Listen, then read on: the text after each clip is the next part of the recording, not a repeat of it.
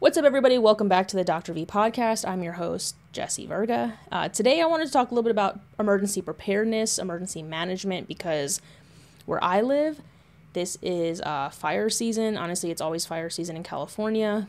And I'm sure, you know, now we have hurricane season coming up.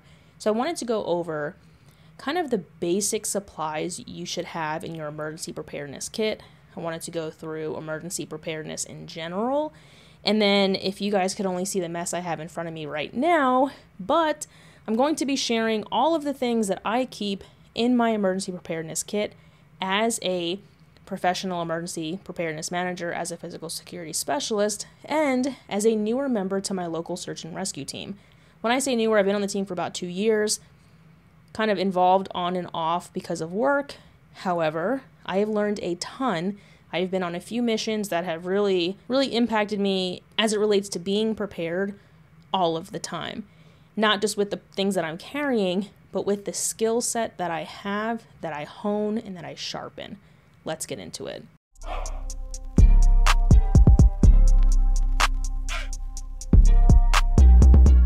So, before we begin, I wanted to just say a couple of things.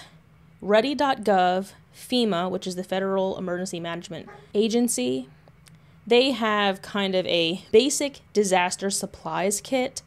I have kind of taken that and like jacked it up. So, it's like this basic kit on steroids because I am a backpacker, hiker, bushcrafter, if you will. I'm not necessarily a prepper because I feel like most preppers are prepared for some sort of like cataclysmic world ending event, usually as a result of like war. And I'm just prepared for anything.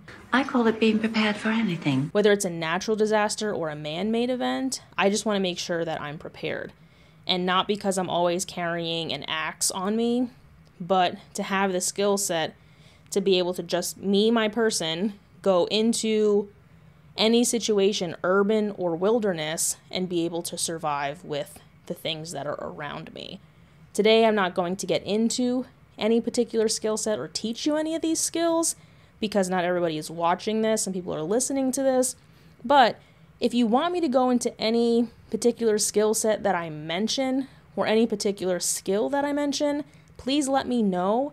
Like, bushcrafting is a skill set that I can absolutely talk about, or I can talk about building a fire, right? That's a skill within a bushcrafting skill set. So, with that, let's start with the basic disaster supply kit that is provided by Ready.gov and FEMA, and then I'll kind of go into kind of some options. So, the first thing on their list is water specifically one gallon per person per day for at least three days for drinking and sanitation. Obviously, hygiene is extremely important in the backcountry and in an emergency situation, reduces your likelihood of getting infections and diseases and, and that sort of stuff. But you might not be able to carry three gallons of water. Like if it's for me and I'm running out of my house, I'm not carrying six gallons of water Hey, did you guys know that at the end of this video there is a riddle? And there has been a riddle at the end of every single one of my videos, every single week. Now, in the past, I would leave you guys the answers. I have decided to remove the answers from being at the end screen, and now, the first person to correctly answer the riddle in the comments below, I will pin that comment. And maybe one day when this channel grows and I get some sponsors, I'll be able to give you guys some free stuff for guessing the riddle correctly. But with that, let's get back into the video. Right? And I say, and I say six because it's three for me, three for my dog. So I'm going to carry a way to filter water while I'm displaced.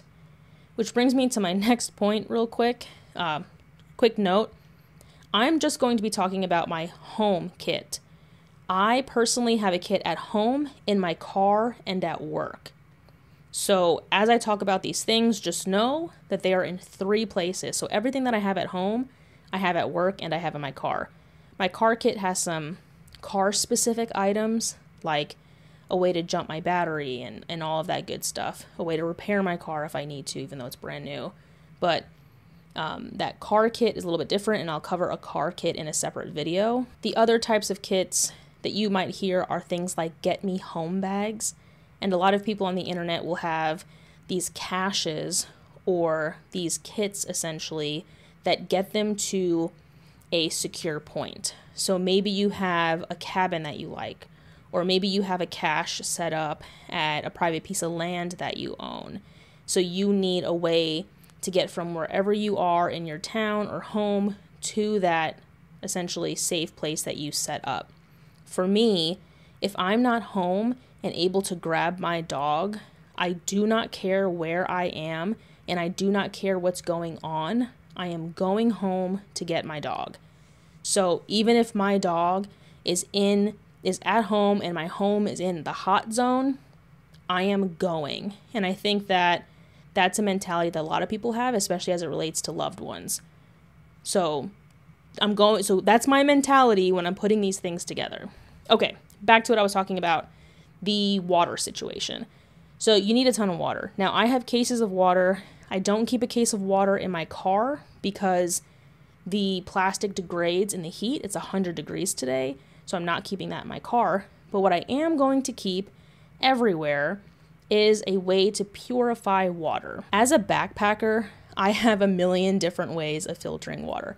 The first thing I'm going to show on screen, and I'm going to leave a link to everything in the description. So if you want to see the brand specific things that I use for my supply kit, you can check it out. But in no way um, are these like the best things. I think they're the best. That's why I have them. But you know, opinions matter. Uh, so the first thing I have is a Sawyer squeeze. Uh, I use this all the time for hiking and backpacking. I'm very familiar with it. It is going to filter water from an unknown source, right? So if I am not sure that that water source is clean, which most of them are not, then I'm going to use this. You want to be able, you want to have a way that's going to filter all things out of water. So maybe I run the water through a cloth first to remove sediment, and then I use a filter of some sort to purify the water from viruses and bacteria. Um, Sawyer Squeeze is really good. The other option that I have is the Life Straw. I know there's tons of controversy around the Life Straw.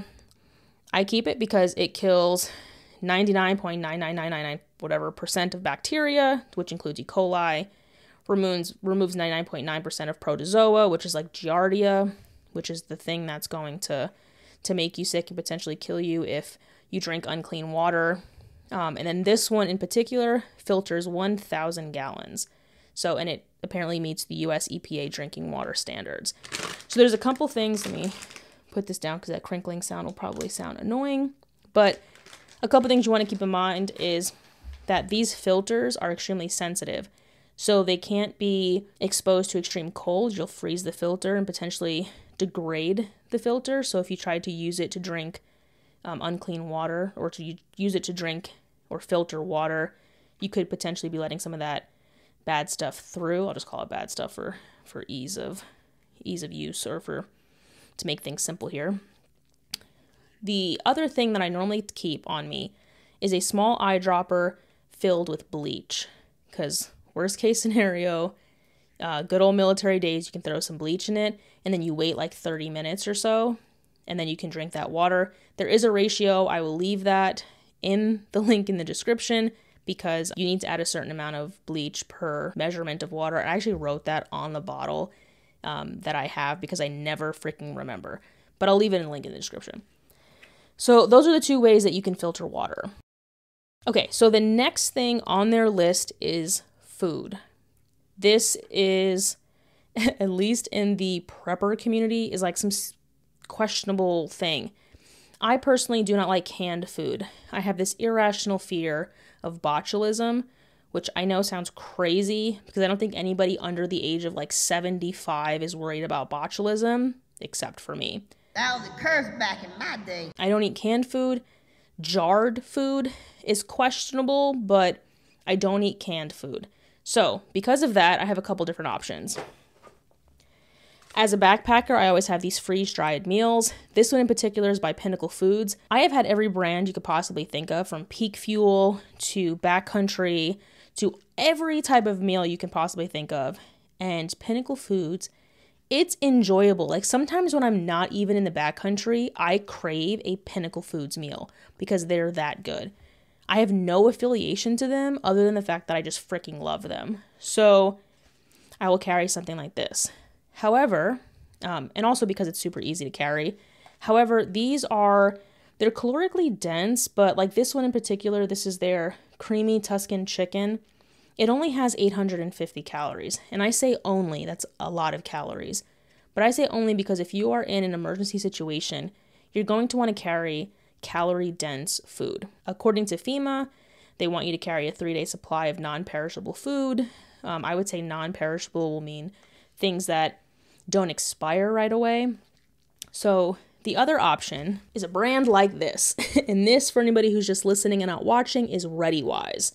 Now, I run drills in my house before each season to simulate a lockdown essentially as best I can. I also backpack and stuff like that, but to shelter in place, uh, because that's something that I didn't practice before COVID, I will have one of these meals and I'll ration it out and I'll do kind of like a calorie breakdown to determine, you know, how long is this going to last me, stuff like that. These are fucking delicious, dude. Like straight up these ReadyWise meals. I haven't had any other brand like this that's sold in these big buckets, but these they're delicious. And inside of there they have breakfast and like lunches and dinners. They have snacks. There's like freeze dried fruit. There's milk. There's all sorts of stuff. They have like cereal. You know, because if you're in an emergency situation, you have to drink and you have to eat and drink like dehydrated stuff, or you have to rehydrate your food. It's you know to make the situation less suck a little bit less. It's good to have some good food, right? Just you, but you want to be reasonable, right? You have to have things that are calorically dense that are gonna keep you alive, essentially.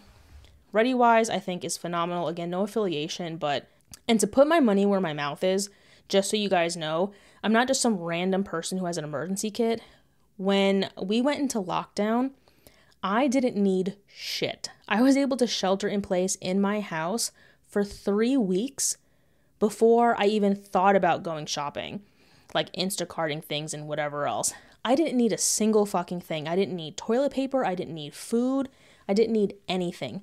Granted, I was in the comfort of my home, I grow a lot of my own vegetables, but in terms of like survivability, I was entertained and I was happy at home.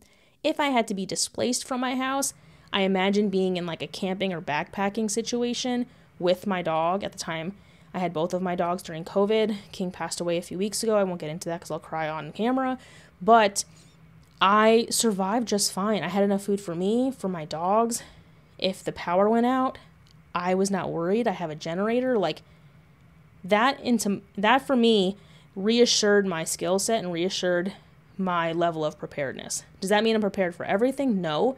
But I was not preparing for a quarantine and the fact that the unexpected hit us and I was prepared means that I at least know something, right? I know a little bit about what I'm doing. I know what I'm doing, man. The next item on this list is a flashlight, and I have a few different options for you. I'm a huge Nitecore fan, just brand loyalty, so I have their EDC 27. I carry this on me every single day. I also have uh, a similar flashlight to this one. It's another one of their EDC series in my emergency kit bag. And this goes up to like a thousand lumens. It lasts forever. I when I tell you that I use this flashlight every single day, I use this flashlight every single day because I walk my dog whenever the hell he wants to go out. He's a little spoiled right now because we're both in mourning, but he, if he wants to go out at night, I take this with me. I live in wine country. There's coyotes. There's not lights everywhere. So I depend on this flashlight. The other thing is I am rocking a Garmin Tactix 7.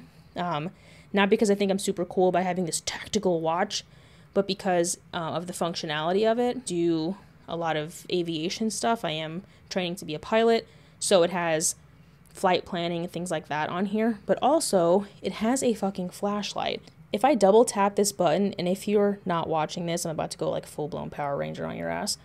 But if I double tap this, the flashlight comes on. So this is kind of like a backup. It's obviously going to drain the battery.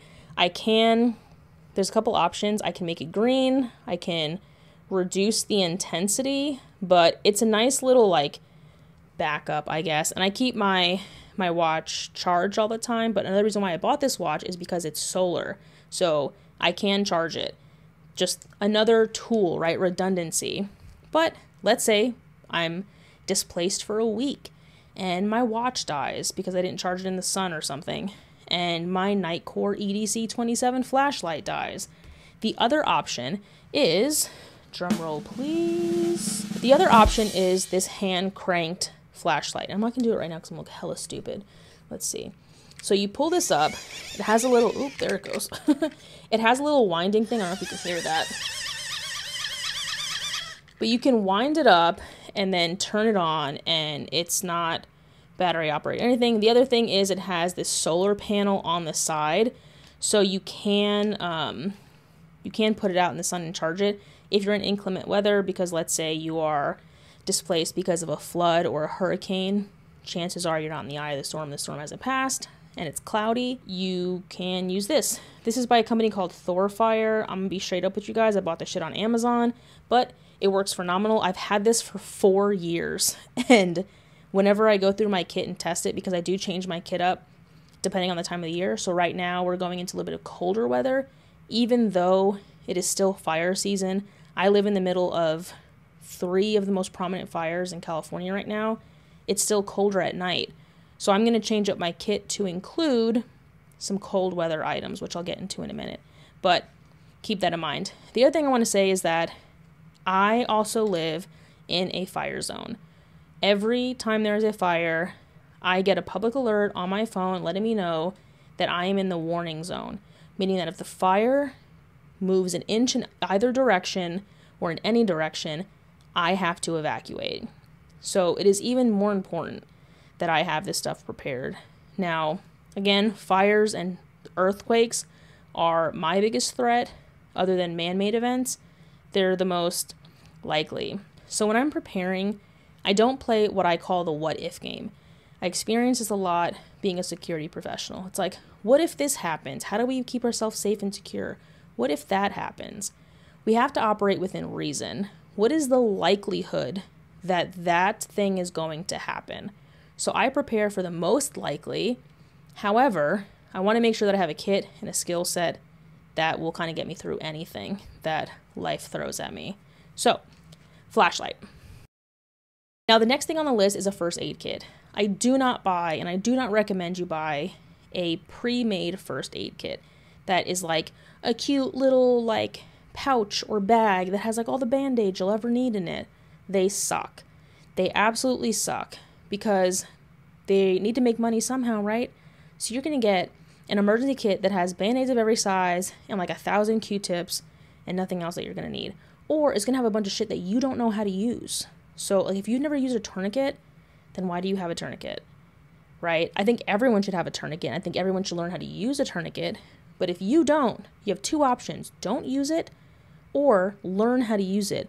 Or bring it in the event that you happen to be with somebody who knows how to use it. It's only because you, can cause more harm than good. Even if you don't mean to, it is a possibility and it has happened. So bring what you know how to use. So I'm going to show you guys a couple of things. Like I said, this place is a mess right now. You can't see it, but there is gear all over the place. Um, so a friend of mine got me this as a gift. It is called Surviveware, and it's like one of these pre-made kits.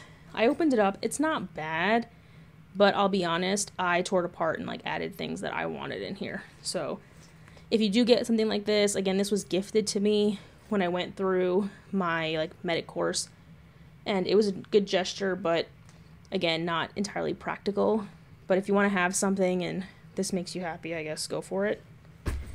I have my medical kit, which I'm going to go through with you guys right now. So, and I'm going to do like little B-roll shots of this. So if you can't see, again, within your skill set, I have a different skill set than most, but I'm not like an emergency doctor. I'm not a trauma surgeon. So this is very limited.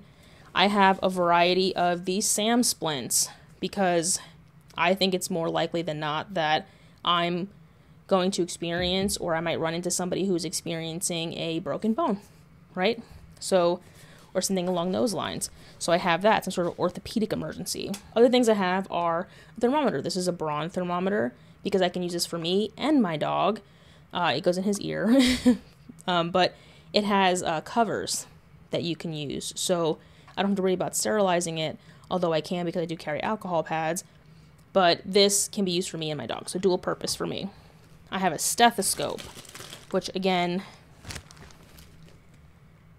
you don't need. unless you want to carry a stethoscope, I guess. But I have that because this is my kind of some of the stuff that I include in my everyday kit because I do carry things on me all the time. Um, I also have this quick little med kit. Now, this is what I carry on me daily, and this is going to include things like like I have this for blisters or hot spots. I have a bunch of band-aids. I have alcohol prep pads. I have iodine. I have band-aids in a variety of sizes. I have an N95 mask. I have a regular mask, like a surgical mask. I have gloves and some neosporin because this is what I use 99% of the time. Not to jinx myself. Well, I think she missed all the vital organs, but uh, don't jinx it. But I don't normally need, for myself at least, a splint or anything more advanced than that. I also have these hand warmers, which I always add to my kit, um, no matter what time of the year it is. And that is Legends, singing the song of his people. I have a blood pressure cuff. Um, I have an SpO2 monitor. Again, this is kind of like my daily little thing. I have some trauma shears. These were a gift. This is a Leatherman set that has my name on it. I have a CPR mask. I have. Dun, dun, dun, I also have some tape and some other uh, ways of bandaging, essentially. I also carry Leukotape, and I will again leave links to all of this. And then in this little dry bag, which I think it's always good to have a dry bag on you. This is a Sea to Summit dry bag. It's one of the smaller ones. Inside of this dry bag, I have some other things that we'll go through in a second. I have paracord. Now, this is the paracord that when you split it open, it has individual nylon strands. This is the paracord I definitely recommend, not that cheap shit that they sell on Amazon. This is quote unquote military grade.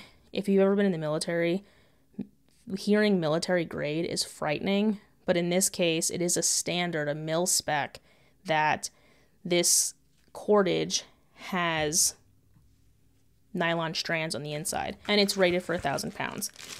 Then I also have some hygiene things. So I have another thing in Neosporin. I have a toothbrush, toothpaste. I have this Sea to Summit Wilderness Wash, uh, which is multi-purpose outdoor wash. I can use it for my hair, I can use it for my body, I can use it to wash my hands. Um, I also have a thing of lotion, so just small little kit. Again, I carry this stuff on me all day. Well, not all day, but anytime I leave the house. This right here is a waterproof case for a Bic lighter. Um, I usually carry a Zippo lighter on me. I have the butane lighter, and I also have the kind of the electric one. But inside of here is a is a Bic lighter. It's just a way to keep it um, dry. And then what I did was uh, to keep the cap on, I used some bank line. Bank line has a ton of purposes on its own. And then some other things that I keep in here are um, for my ladies, I have some honey pot wipes. Um, guys, I think they there's a brand called Dude Wipes. Just wash your ass, right? That's basically what that is. Take a shower. Wash your ass. And then on this business card, I put some duct tape because I'm not carrying a whole fucking roll of duct tape. I just, I don't even know how many times I wrapped it around. I just wrapped it around till it was thick as shit. So I wrapped some duct tape around this business card. It's a plastic business card, like one of those fancy ones. It's mine. So I always have duct tape on me. Duct tape is really good for repairing things. So I, it's good to have. And then on another business card, I put electrical tape and some more cordage because you can never go wrong with any of that. And for this cordage in particular, can be used to set up like an A-frame tent or um, set up a little bit of a line that you can drape a tarp over if you are looking to shade yourself or um, protect yourself from the elements. And then the last thing is a nail clipper. Um, it's just you know good to have. You can use this, you can use this to get out splinters. The file on the inside can be used for a ton of different things. Hey guys, I wanted to interrupt this video real quick and remind you that my free guide, Wellness, Wisdom, and Warfare, A Veteran's Guide for Mastering Life, is now available for download using the link in the description, or if you go to my website, jessievirga.com slash free guide, or it's under the podcast tab, you can download it for absolutely free. It's over 60 pages of just tips and tricks and things to help my veterans out there master their health, master their fitness, master their mental and spiritual health, just things that I have learned through my journey as just a veteran and that I've learned as an educator and as a professional in multiple fields, as an entrepreneur. I put all these things in one place and I've put it together for absolutely free. So, again, link is in the description, or if you head to my website, jessievirga.com, you can download it for absolutely free. So, okay, I'm gonna pull all this stuff in. Again, I'm not like a wilderness guide. I'm not even necessarily certified in wilderness medicine, although that is the next thing that I'm going to be getting into.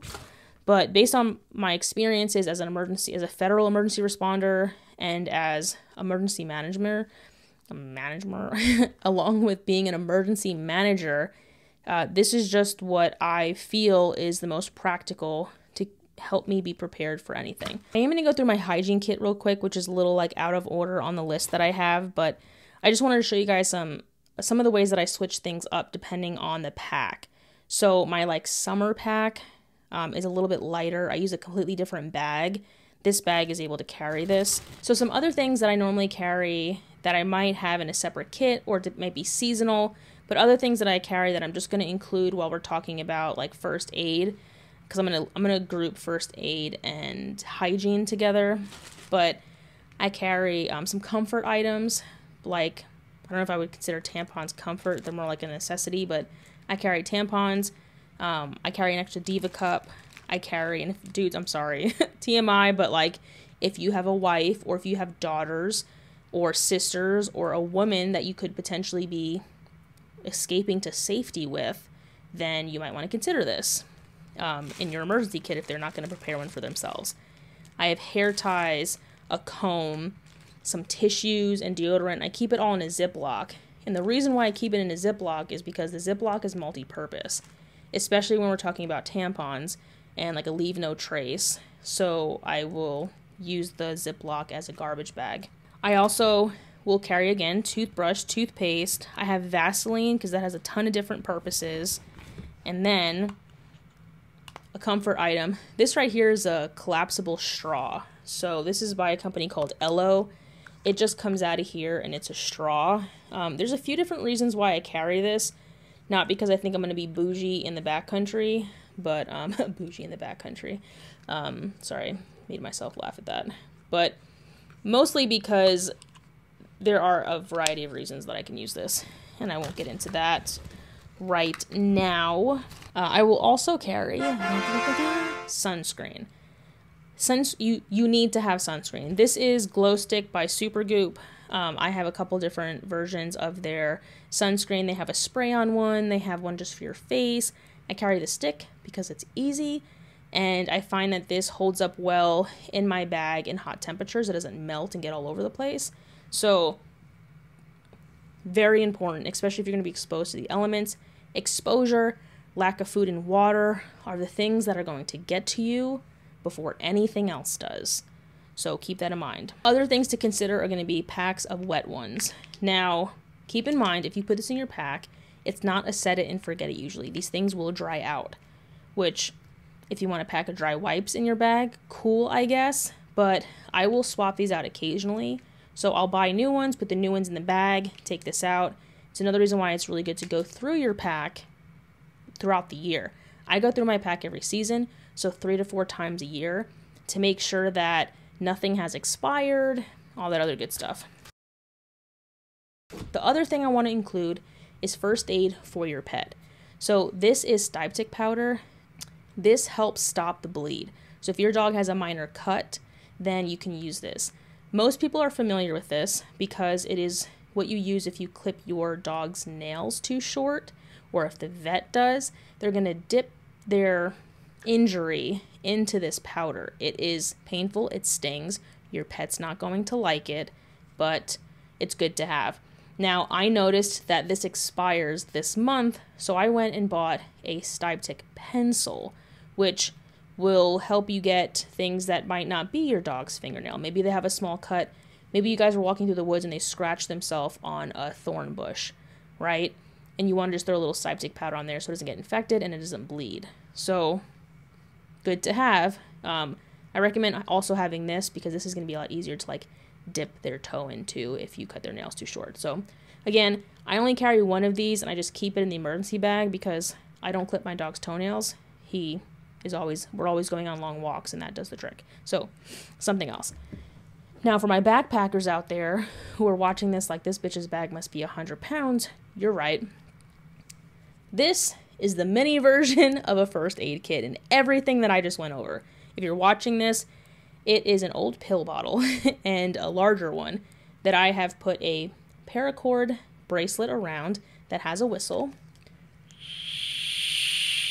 Okay, I can't really get to it because I didn't unclip it. Um, it has duct tape on it, some hair ties, and some paracord. When I open it up, it has um, iodine prep pads, it has alcohol pads, it has a bunch of band aids, and a very small Bic lighter. So if you don't want to carry a big kit and you just want to have something small and compact, I recommend something like this. Paracord bracelet is probably overkill. I do have paracord. I do have bank line, or banker's line, I think is what it's called. And I have something called microcord. This is the Atwood Rope MFG. So this is uh, 36, 36 meters by 1.18 millimeters, aka 125 feet by 334 inch. Anyway, it's hella small.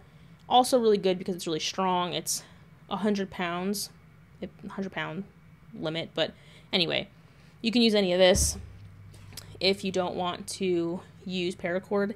I had a friend in the military make me this bracelet with this whistle clasp, and um, it does two. It does its little kit right here is everything that you need. This is what I normally carry um, on backpacking trips, and then I just clip this bracelet to the outside of my pack, mostly because um, of the whistle. I want the whistle somewhere where I can reach it.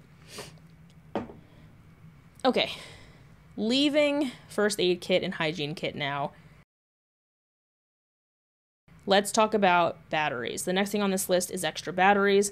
I do sometimes carry extra batteries, but most of the stuff that I carry with me that's electronic is rechargeable. I do have this headlamp. This one in particular does require batteries. It requires AAA batteries, so I carry some of that on me. But this is my backup headlamp. Other than my flashlights, lights plural, I always have a headlamp on me, but I'm going to get into that when I get into my little toolkit. Um, they're all rechargeable, so I will normally carry a power bank on me. This is a 20,000 milliamp battery, if I'm not mistaken. Yeah, 20,000 milliamp hour uh, energy brick by Nitecore. This thing has two USB Cs and two um, USBs. I have charged, I have three cell phones, long story. I have charged all three of my cell phones and my laptop with this thing. Not necessarily fully charged, but to a point where they I knew they were in the green. So I love this thing. This is what I'll carry with me, and this is what I will use when I am charging my headlamps and my phones or anything that is electronic in my emergency kit. Now, I keep this one on me all the time. I have an Anker battery that I will sometimes throw in my emergency kit, but yeah, just have one of these on you. The Anker battery that I have is a Solix battery. It's a little bit more robust. It has um, it's AC DC power. Again, carry that if you want to, if you want to put in money for that, but this should do the trick if you're talking about a, a go bag. The next thing on this list is a whistle. Now, I tie my whistle to the outside of my bag. Yes, there is one on that um, paracord bracelet, but I carry a legitimate whistle to the outside of my bag because if I'm in an emergency and if something happens, and assuming that I am not detached from my backpack, I want that whistle somewhere I can reach it that is accessible in case I am injured and I need to get somebody's attention. Also, having the ability to whistle without needing a device is helpful. So, um, feel free to look that up. I'm not very good at that. My dad used to be able to do that called taxis in New York. Um, before I get into knives or anything, this Gerber, I think it's like a Gerber wilderness knife. I bought it at the PX. It has a whistle on the end of it. Um, I don't know why I did that. Um, it also has a ferro rod and um, all that good stuff. It also has like emergency signals um, chart on the back of it. But the um, ferro rod and it uh, the strikers on the back of the knife. Anyway, I thought this was cool. I bought it because I collect knives. But having things that are multi-purpose or dual use or tri use is going to be your best friend in an emergency preparedness situation because it's going to lighten your load. So having things like this is actually pretty good. So consider something like this. All my knife enthusiasts out there, you're gonna scoff at this. How dare you, you insolent peasant!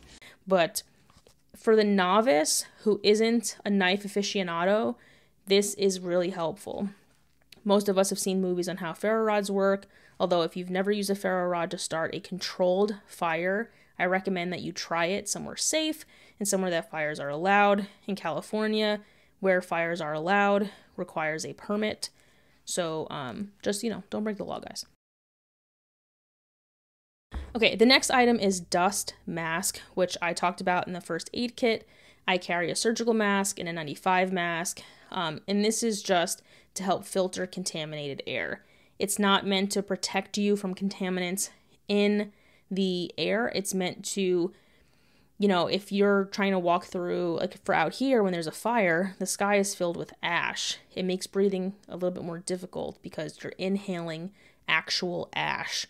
So, to prevent that and to help breathe a little bit easier, you want a mask. It's not going to help with the smoke, but you know, you do what you can. Now, plastic sheeting and duct tape is next on this list, and this is for shelter in place options. So, now let's talk about shelter. And this kind of brings me into kind of the purpose of these bags. My whenever I have an emergency bag, it is to get me out of that place. So the emergency bag at work is to get me out of work and to somewhere else, and that somewhere else is home. The emergency kit in my car is to get me and basically my car out of whatever situation we're in and to safety. The emergency kit in my house is to get me out of my house and hopefully to my car or to safety. So in my car, I have like a blanket and pillow and and things for my dog, and comfort items if I'm going to shelter in my car. If you're not going to shelter in your car, or if you are displaced from your car, your car breaks down, whatever the case is, you're going to need another means for shelter, something to get you out of the elements. And that um, is where backpackers shine because we have tons of things. So the first thing is a tent, right? You could absolutely have a tent. I have a few different tents. I have trekking pole tents, and I have freestanding tents. In this case, I would use a freestanding tent, meaning when you put the tent together, you the tent does not need to be affixed to the ground, so you can pick that tent up and move it somewhere else if you need to, right? That's essentially freestanding. It is standing on its own. Whereas other tents, like a trekking pole tent, require a trekking pole to maintain its shape and form. So you can't just pick it up and move it. So you want a freestanding tent. But because we're talking emergency situation, I have a freestanding tent in my car, but in this bag at home and in the bag at work, I carry something called a bivy. So for bivvies, I have the Black Diamond Bipod Bivy in yellow. Um, I don't really consider, um, if I'm using this, it's not to self camp it is because I need help. And I'll include pictures of this and some B-roll of this, guys. But a bivy is a small enclosure, right? Like literally, it's just it's a plastic bag around you, right? That has, in this case, mine has like one single arched pole that goes through it that, um, you know, lifts it off my body. So I'm not literally sleeping in a bag and it's obviously ventilated. But it's just meant to protect you from the elements. So you're in a sleeping bag. It's it's like being in a sarcophagus. Sarc- am I saying that right? Sarcophagus? It's like being in a fucking coffin, right? I am a little claustrophobic in that thing, but the one that I have, you can open it up. So it's just like a mesh screen. And I got a, this one is pretty large. The one I have is pretty large. So if I need to toss my dog in there too, he will fit. Again, it's just an emergency situation. There's also something called a ranger roll. I was not in the army. I love the concept of a ranger roll Um, I'm not going to get too much into the weeds on that. If you are an army or if you are a ranger or are familiar with the ranger role, feel free to leave a comment. One piece of that ranger role is a essentially like a poncho, and that poncho you can open it up and it doubles as a tarp, and that plus some paracord will equal a makeshift tarp tent. So that's something that you can have too. Again, emergency situation, you're just trying to keep yourself dry, right? Or out of the sun, or whatever the case is, somewhat safe, somewhat sheltered. The next thing is moist towelettes, garbage bags, and plastic ties for quote unquote personal sanitation. I keep most of my stuff in Ziploc bags and I use those as garbage bags. Moist towelettes, I talked about. We talked about the wet wipes, things like that. Something else I want to mention is these Duo, I'm going to say this wrong. This is an antiseptic, antifungal wipe for dogs.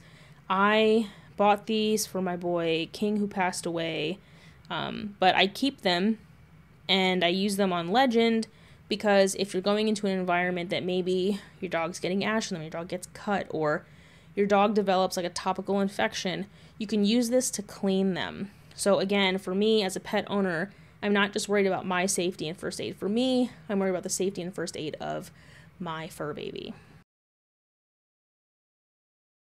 Okay, next thing is manual can opener. Again, I don't eat food out of cans. If I needed to, I would be screwed because I don't have a manual can opener. So, if you are going to have canned food, make sure you have a way to open them.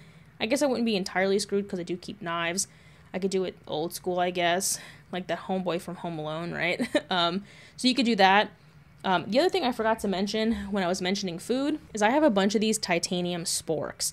They have a long handle so they can get into that, um, so they can get into that food bag. Also, something to keep in mind. Um, I'll get into kind of the food stuff a little bit later because that, for some reason, is not on this list, which I think is crazy. The next thing is local maps. Um, because I don't want the internet to know where I live, or at least if you're going to find out where I live, you're going to have to work for it. So I have one of these. This is a map of all of California. If I needed to figure out where I was or where I'm going or alternate routes to get to somewhere safe, this is what I'm using. Um, it is a detailed topographic map, but it has everything. Um, I also have apps on my phone, right? I have onX Backcountry and onX Off Road if I needed to kind of look and see, because I think this, the one thing about maps, especially an atlas like this, is they are updated all of the time, right? Think of every, at least in California, with all the housing structures being built and roads being placed, this is probably not the most up to date, but I keep it because it's a topographic map. Um, that doesn't usually change too much, but yeah, you want to consider also having a map on you. Even if you just print out like a Google map and laminate it, I have actually have one of those where I printed out a local map and it's laminated and that is in my car bag. So I have redundancy. Again, not going to show that to you because y'all don't need to know where I live. Other things on this list include cell phone with chargers and backup batteries. Already kind of went through that. Other items they have are cloth face coverings for everyone ages 2 and above, soap, hand sanitizer, disinfecting wipes to disinfect surfaces. Already have that. This is under their additional emergency supply section. Prescription medications, definitely need to have that. Non prescription medications such as pain relievers, anti diarrhea medications, antacids, and laxatives. I keep that in the first aid kit, but put it wherever you want. Um, infant formula, bottles, diapers, wipes, and diaper rash cream. I don't have a baby, so I don't have any of those things. I have baby wipes, but like I don't got bottles and diaper rash cream. So if you got a baby, bring that. Pet food and extra water for your pet. This brings me to a point I wanted to make about the Sawyer squeeze. The Sawyer squeeze has the ability to filter water from wherever into a larger container, whereas the Life Straw is a straw. So if I need to purify water for my dog, it's going to have to come from the Sawyer squeeze. Or, again, my next point is going to be the ability to boil water is the next best thing. You want to boil it, I believe the recommendation is 10 minutes. So, I have this Jetboil. I only bring this in the wintertime, I have smaller setup. Like I have the MSR Pocket Rocket. Um, I have two of them, one for my emergency kit and one for backpacking trips. This does really well in cold weather because of the Jetboil technology. Um, and I'll show you guys real quick if you're watching this. But there are these, um, let's see if I can get that into focus. There are these like grates on the bottom which protects the flame from wind. It also allows for um, a more efficient diffusion of the fire so it boils and quote unquote cooks evenly. Inside of here is, I also have a couple of these, is a fuel canister. This is butane. Is it? It is isobutane, my bad. Um, fuel. And I have a ton of these in variety of sizes. But I keep this because I don't use this for backpacking anymore. I'm trying to lighten my backpack a little bit. But I, I bring this with me because worst case scenario is I can boil water for my dog and I. Another way to boil water for your food, to rehydrate your food. Most of the food requires warm water. You can also cold soak, which basically means you put cold or room temperature water into or with the food and you just let it sit for like hours. so that's also an option, worst case scenario. Now, pet food. My dog used to eat raw, now he eats farmer's dog. So I can't exactly keep a couple bags of farmer's dog food in my pack because it's perishable. So I will buy the freeze dried raw food, which um, is basically like the dry version of raw food because he eats a more natural diet. And I want to keep him consistent because the last thing I need is to switch his food and throw a bag of kibble in my emergency bag, and then he has diarrhea and is dehydrated during an emergency situation. So I try to stay as close to his normal diet as possible to reduce the likelihood of him getting sick in an emergency situation if we are displaced. So, something to consider. Next thing is cash or traveler checks and important information such as copies of your insurance policies, copies of identification, bank account records. I keep all of those things in this fire retardant envelope. This is a huge envelope, but it is a security fireproof bag. This has all of my important stuff in it. I'm talking passports, birth certificates, copies of my driver's license, copies of my dog's medical records. I'll keep a USB in here with other important information, and I update this envelope and that USB all of the time. I need to make sure that if, God forbid, something happens and I need to start my life again from scratch, I have everything in here. The next thing they have on this list is a sleeping bag or warm blanket for each person. So I have this. This is a wool fire retardant blanket, and I have a ton of these. Um, they're not cheap, they're also very heavy, but I keep one of these in the car, one of these with my bag, and one pretty much in every room of the house. Again, I live in a fire zone, but this can double as a warm blanket. It's in wool. If you're in the military and if you ever use a wool blanket, you know this shit is warm as shit. So, and you know, it helps. And it's fire retardant. So, there's that. The other thing is I use all of my retired camping gear as emergency gear because it's still useful and it still serves a purpose. I just have upgraded or moved on to a different thing. So, like right now, I sleep with quilts when I'm in the backcountry. But this is the Nemo Disco. This is a zero degree sleeping bag. I'm sorry, this is a 15 degree sleeping bag. And this right here, this is the women's one. Um, I keep this usually loose, but this time of the year, since it is fire season, I will keep it in its stuff sack. So the size reduces down to like the size of a little bit bigger than a volleyball or basketball, whatever sport you relate to the most, soccer, whatever, a ball. And I will keep that in my emergency kit. So now my emergency kit is a 55 liter backpack, basically. And this sleeping bag will go in that. This sleeping bag can go inside the bivy, can go under your tarp, can go inside of your tent, right? This is a synthetic sleeping bag, meaning if it gets wet, it's not going to act all fucking weird like a down sleeping bag. However, there are a lot of things that can degrade the integrity of the insulation, meaning it won't keep you as warm. So keep that in mind, which is also why I keep it lofted like this, because if you always keep it compressed, it's going to reduce the efficiency of this of this bag. So again, sleeping bag. And for my doggy, I just bought this from Costco. He used to have another jacket. This is like a cute little little jacket for my dog. Um, this is this one's extra large. I forgot how much this cost. It was like 20 bucks, I think. It wasn't very expensive, but just a little extra something for my baby. So he also has a shirt, like a cute little like PJ shirt that I um, that I keep in the bag for him. Just again, comfort items and to make sure that he's okay. The other thing I want to mention is a sleeping pad. So this is the Nemo Quasar 3D.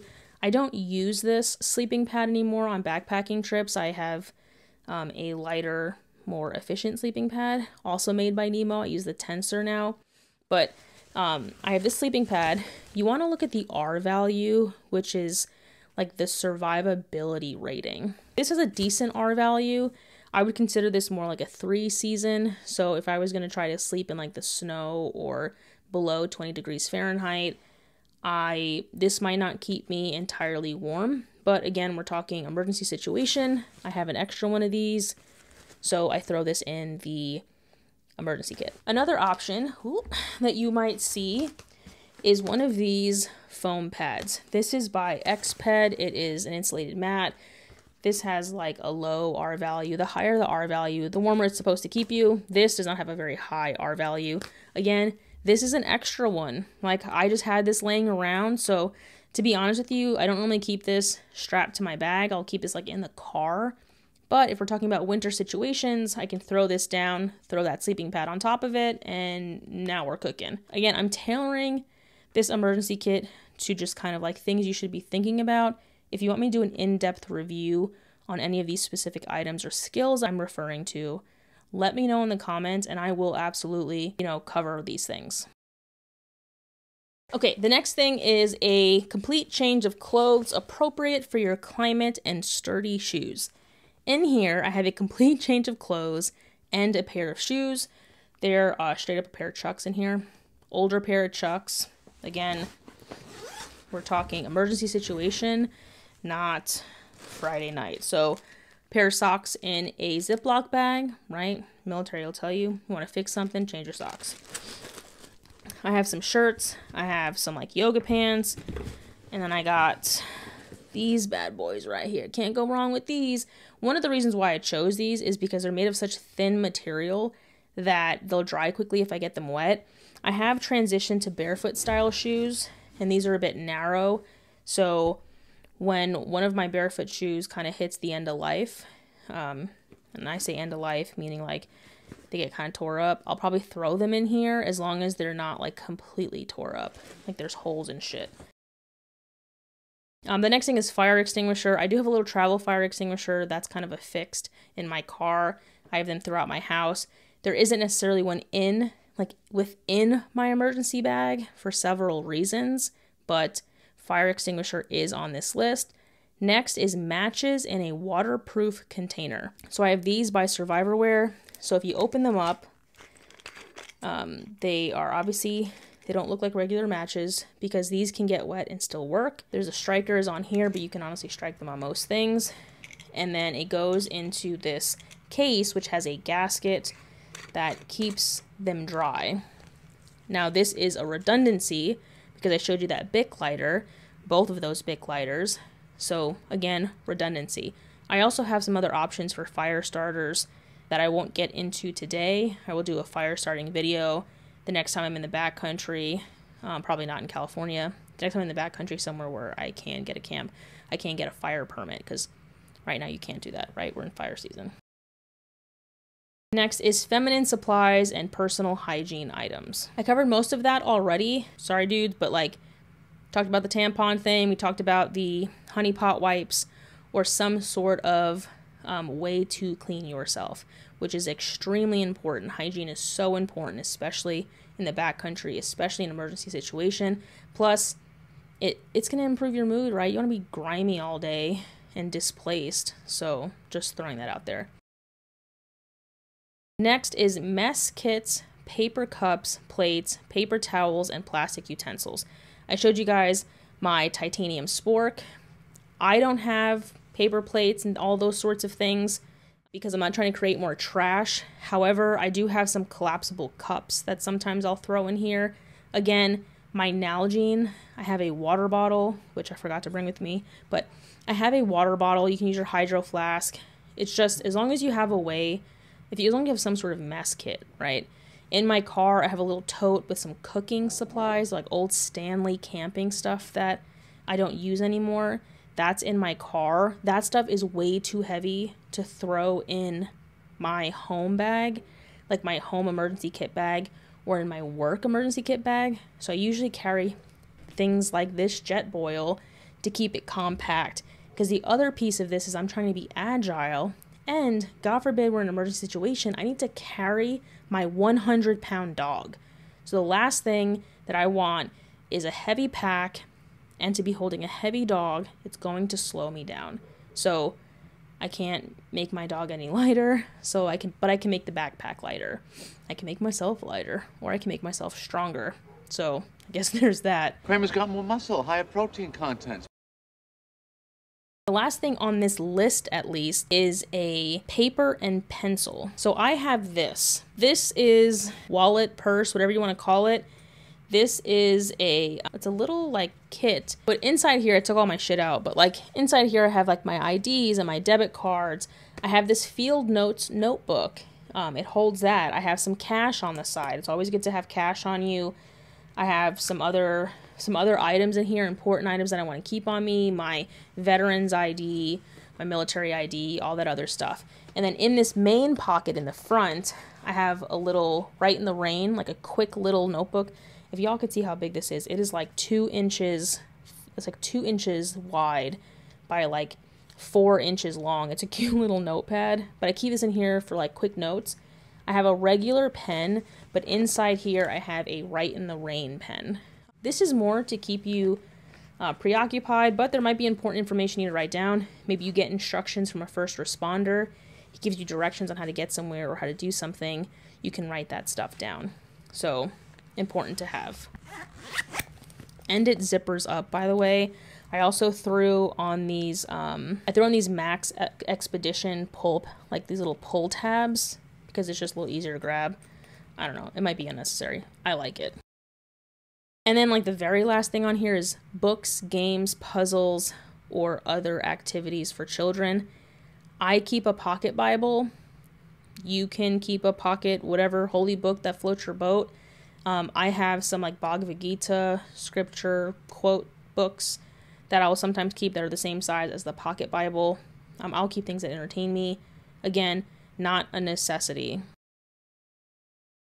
Okay, so now let's get into some things that I carry that are not on FEMA's list that I think isn't that I think are important. Some of the other things that I carry are uh, is this Airlite towel. This is for hygiene purposes. It pack down it packs down really light, and I no longer use this for the backcountry. I have another towel that I use. Um, I also carry like a Kula cloth, which is um, an antimicrobial cloth that females can use after they go to the bathroom, after they pee, basically. I also carry something like a backcountry bidet, which is just something that you screw onto the cap of a water bottle. There's a certain way to do it where it's nowhere near your rear end, but you can clean you can clean yourself without getting like poop particles on it. Not gonna get into any of that uh, hygiene stuff, but I carry this Airlite towel. This is, um, you know, just a dry towel, just to clean myself off. If I boil some water, I can, you know, do a little like hoe bath, whatever you want to call it other things, and I'm not gonna I'm not gonna open this up, but this is uh, if you're if you were in the military, if you were a female in the military, you got issued a Shewee, which is like this rigid plastic funnel, so you can pee standing up without taking your pants off, especially if you were like deployed and you didn't have access to facilities and you know you don't want to pee in front of a bunch of dudes. You have this thing. This is essentially the same thing. It is like the civilian version. It is silicone. It's easier to clean and it collapses. I just keep it in this case because it's a little bit easier. I'm not going to take it out, but if you guys are interested, I found this one on um, I found this one on Amazon. Had a ton of really good reviews.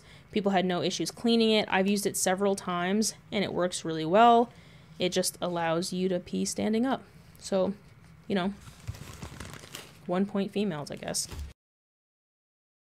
Now, for the moment, most of you have probably been waiting for. uh, I'm going to go through some of the other things that I carry. Okay, so the first thing that I want to include is this EDC toolkit that I carry. This is by Maxpedition. Inside here, I have a ton of stuff. um, and I'll just, because I have folks that are listening and not watching, I'm going to go through kind of real quick some of the things I have in here.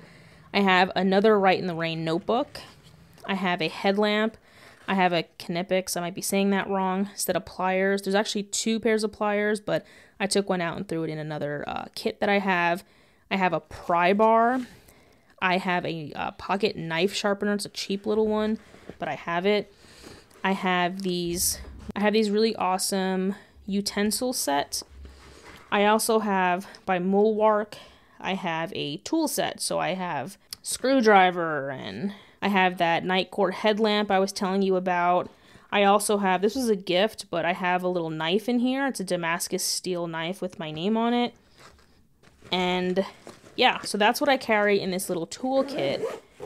Um, and this is something that I generally keep in my car. It's not necessarily in my emergency bag, but is my car emergency bag. Just something to consider. And I'll kind of go over my EDC kit in another video, but a lot of these things are redundant for what I have in my EDC kit. What is 100% in every single one of my bags is this little Maxpedition kit. And in here I have a ferro rod, a pen, a pencil, a Sharpie, another Rite in the Rain pen. I have a, this is by InCharge. It is a USB kind of like conversion cable, but this goes with that battery power pack. So, and I'll show you guys real quick on camera. But it is, if I can get to focus, there we go. So it is a USB, this is probably not all in focus, but I'll show you guys in B-roll. It's USB, if I flip this down, it's USB-C. It's USB-C, if I flip it down, it's an iPhone charger. So it has everything that I need to charge all of my devices. But I just got the iPhone 16, so it's official that all of my devices are USB C. Thanks, sweet baby Jesus. The other thing I keep in here are Ranger beads. If you've never used Ranger beads, um, buy them and try it out. They're pace setting beads, so you can count your paces. So the first thing you need to do is figure out. You can do it in yards, you can do it in feet. Um, I do it in yards. You need to figure out kind of your pace. So how many of your steps does it take to equal a yard. Um, and then you kind of just go from there. So, um, or meter, or whatever you want to measure it in. I know there's going to be a bunch of army folks that are going to be so like, that's not how you use that. Um, they're just pace beads. So once you figure out what your normal pace is, you can use these effectively. Because unless you know how many of your steps equals a meter, then you can't do nothing with these. So figure that out and then you keep track of how far you're walking with these, and that's what you do. That brings me, since we're kind of talking about navigation, and for all my folks that have never done land nav, I have this. This is a Suunto compass. This compass, let me open it up, also has a signal mirror. I highly recommend that you have a signal mirror if we're talking about emergency situation and you need to signal for help. This is uh, great to have. If you don't know how to use a compass, there are a ton of YouTube videos that talk about how to use them. I'm not going to tell you how to do it. Um, or maybe I will. I don't know. Let me know. If you want me to do that, I will. But if you know how to use a compass, if you have a map, and if you have some pace setting beads, you're set. Honestly, the beads are probably, I know somebody's going to be mad about me saying this, but the beads are probably optional. If you have a map and a compass and you know how to use those and you know how to triangulate your, your position and you knew how you know how to stay on a bearing and walk to a certain distance, the best example I can say is you are lost in the woods, but you notice that there is a tree that maybe was struck by lightning or maybe has a funny mushroom growing on it or maybe has some bear claw marks marks on it and you're like I see that tree very well. It's different than all the other trees and it's in your bearing. You walk to that tree. When you get to that tree, you look at your map, you look at your compass, you make sure you're heading on the right bearing. You look down that bearing for another landmark and you walk to that. But things that are in within reason. And as you start to learn your pace and kind of what does 1 meter look like? What does 10 meters look like? How does a kilometer feel, right? In terms of like how do I feel after I've walked a kilometer or a 5k, which is 3 miles, right? Once you do that, it's so much easier to navigate. But again, that's kind of where the, the ranger beads, at least the way I use them. I was an army. That's just the way I use them, right? Feel free to correct me. I don't fuck care. Another thing that I carry are these candle tins. It's one wick beeswax. So if you need to start a fire, and let's say you're in like wet conditions or you're having trouble making kindling or you don't have the tools you need to make kindling. But you maybe have some like somewhat larger pieces of wood and you know that you can safely make a fire. These last for four hours. So you light one of these, maybe you dig a little hole, you light one of these, assuming you have a lighter, um, and you start to put the wood on top of it. And basically, this is just the way to start a fire. That's all it is. It burns for a really long time.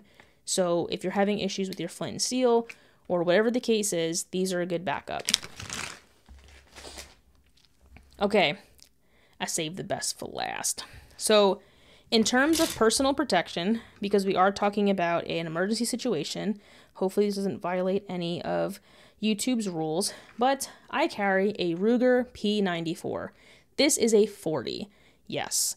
I have smaller firearms. I am licensed in the state of California. Technically, I'm licensed in the entire country, but I digress. So, I carry this on me for sure, right? It is on my CCW card, the whole nine. But this is what I use for personal protection. I have, this is also one of the only firearms that I have like more than six mags for. Um, some of my other kind of like handheld, I'm gonna say hand pew pews. um, some of the other smaller firearms that I have, I don't have as many mags for. That's my fault. I need to get more mags for them but I carry one of these. Now, depending on the type of situation, I will carry a long arm, but I don't have time today to go through all of those. I'm gonna keep the slide back. Um, this firearm will protect me, and when I say protect me, I'm more so thinking like I'm displaced and I'm in the backcountry, and maybe for whatever reason I need to protect myself against wildlife. Although I'd probably be the first person to pet a mountain lion. just kidding. Um, but it's just for it's just personal protection. I'm not going to say any more than that, but I believe in my Second Amendment right. So I have one of these on me. You don't have to have one of those on you. It is not going to necessarily affect your ability to survive in an emergency situation if we're talking about natural disaster. The next thing I want to get into are knives. I love collecting knives, not to carry on me necessarily, but I love just the craftsmanship that goes into it.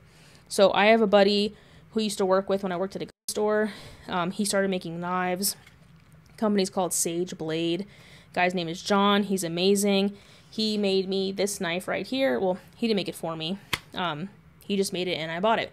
It has a mammoth tooth, I believe, or tusk inlay, and that's pretty fucking cool, right? So um, it's a smaller blade, and the reason why I carry one of these, um, it has a Kydex sheath, and the, the reason why I carry this is more so if I need to catch and trap an animal, I can prepare it while I'm in the backcountry. And while I would love to survive on berries and leaves and shit like that, I'm going to need protein, so will my dog. And if I'm in a, some sort of situation that requires that, I have this. It can also be used as a tool if I need to cut think you know if I need to cut some of the paracord or bank line or whatever, um, I have I have this. I also have, and this is more of something that I would use to um, to prepare an animal if I was in a hunting situation. This knife, I'll be completely honest with you, I got this knife years ago. It is it's a little more comfortable. It has this little lip right here, and I'm trying to refer to things in a way that's easy to understand and that I can describe for listeners. But basically, it has a little like lip or a little stopper, if you will, that prevents my hand from continuing forward should I need this to prepare an animal. Because if you're preparing an animal, there's going to be blood. There's hopefully not going to be a ton of fluid, but there's going to be blood and it's going to get slippery. And if you've ever dressed an animal before, you know that having a knife that has that or a really good grip will prevent your hands from slipping forward and cutting yourself. Um, it comes in a leather sheath.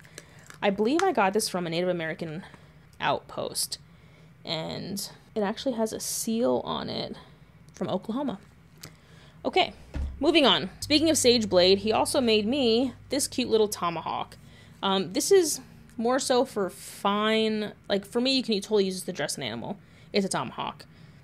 But for me, I like it because I can do smaller tasks like making kindling and maybe I get bored and I want to like make a, like whittle something. I don't know. But this tomahawk is a little bit easier. I also like that it has this like pointed edge here so the sheath is not the greatest, but it does the job in the way I store it. I usually have something here that prevents it from falling out because it just kind of like slips right out. So there's also this tomahawk. And the very last thing that I'll talk about is my hatchet. This is a Helko Werk hatchet. I can't, I don't remember the specific model. I've had this for a while now. I also just bought this like leather piece right here. Uh, and this is just so it's a little bit more comfortable on my hand. But um, this is primarily for chopping wood. I'm not going to chop down a tree with this. I do have a full size axe in my car, but this is going to be kind of like a good in between. It's I, I will be able to do finer stuff with a knife or that tomahawk. This is more so for like splitting wood and making larger pieces of um, firewood. So if I'm trying to chop down a tree, I'm gonna need a full blown axe, and I have one of those by the same company by Helko Werk. There's a few different reputable kind of European axe companies. I know Gerber and a couple other brands are trying to enter the axe industry. They've been doing it for a little while now, but there's just something about these axes that are a lot better. I do have the axe puck that I will keep with me. I keep a really small one so I can sharpen it in the backcountry. I will leave links to all these things in the description if you want to check them out. But again, don't buy this shit and put it in an emergency bag if you're never going to use it. That's kind of like the key point here. If you never intend on attempting to start a fire uh, safely again, um, if you don't attempt to go camping or go into the backwoods and try to use this stuff, it is pointless. Do not do that.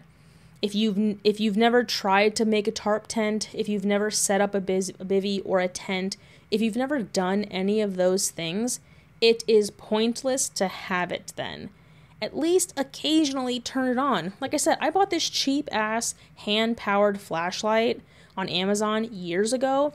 I check it a few times a year. Every time I go through my emergency kit, I literally go through and check everything.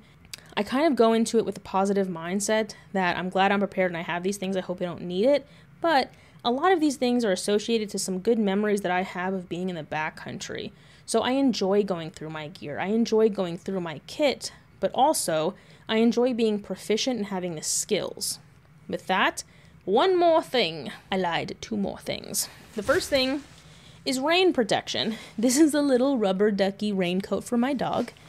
I have a couple different things that I use. So I have a raincoat. Um, there's a couple YouTube videos, and I'll maybe one day I'll do a video on this there's a way that you can roll up your raincoat into itself so it maintains this roll. This one just came out, so it's a little jacked up. But I have a raincoat for myself.